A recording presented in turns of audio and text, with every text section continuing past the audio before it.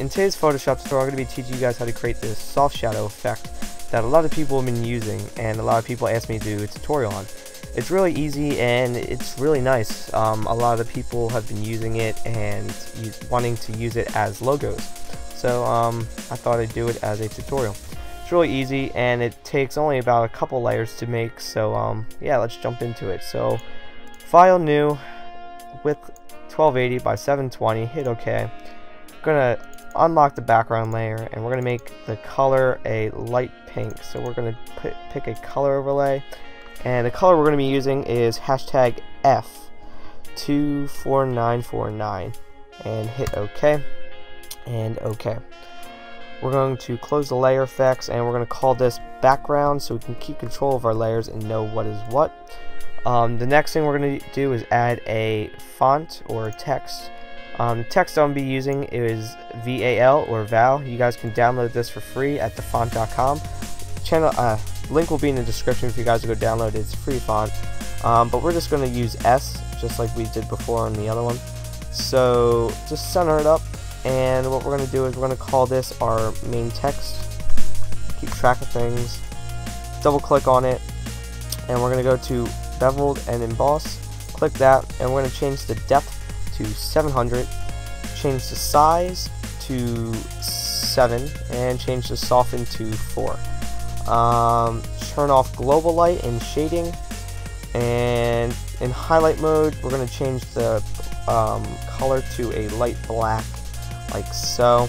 Hit OK, and we're going to change the opacity for that to 6 and the opacity on shadow mode to 12 and that's it for beveled and embossed and what we want to do is we want to go down here to contour and we're going to bring the range to 96 97 and we'll do 96 and keep that as it is. And the next thing we want to do is we want to go down here to our stroke.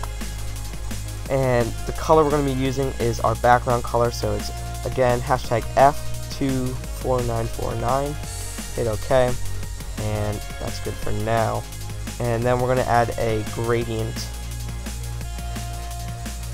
And the gradient colors we're going to be using are a light pink so they are hashtag F48383 hit OK. And we're going to do the same thing. And this color is going to be hashtag F to ACAC and uh, hit OK. Actually, I'm going to bring down the intensity on this color right here. It's a little too bright. And uh, that's looking good. Um, actually, I'm going to turn, I'm going to make this a little bit lighter. There we go. And do the same for this one.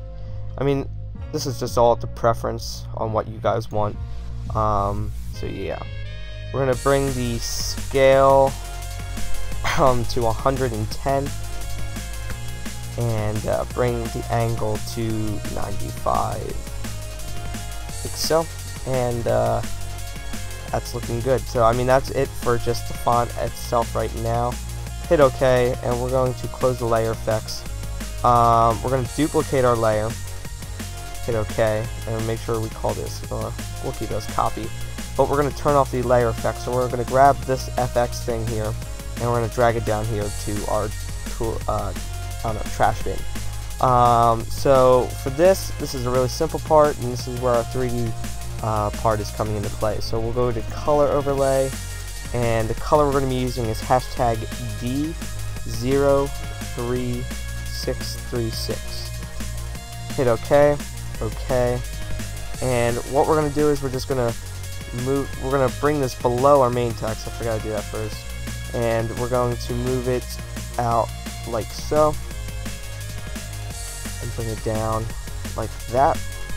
Um, and we're gonna duplicate now. Depending on how far you want the shadow you can duplicate it. I mean right now it looks fine but we're gonna duplicate a little bit more and add um, more I don't know more shadow to it I guess. So to duplicate we're gonna go to our layer hold alt and push down on the arrow key.